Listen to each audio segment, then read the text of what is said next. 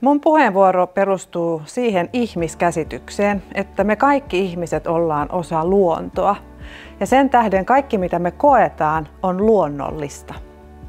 Usein, jos me koetaan jotain hankalaa tai vastoinkäymisiä tai, tai raskaita aikoja elämässämme, niin me helposti vastustetaan sitä kokemustamme tai ei oikein pystytä edes tunnistamaan, mistä se meidän kokemus, kokemus muodostuu.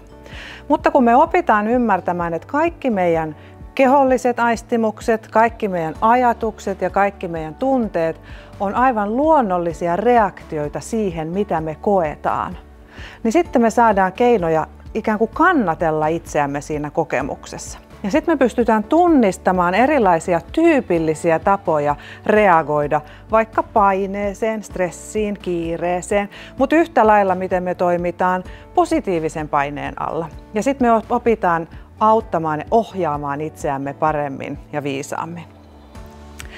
Eli ihminen osana luontoa ja ihmisen kaikki kokemukset on täysin luonnollisia. Ja sitä kautta me voidaan löytää todella paljon hyvinvointia sekä henkisellä, emotionaalisella että ihan fyysiselläkin tasolla.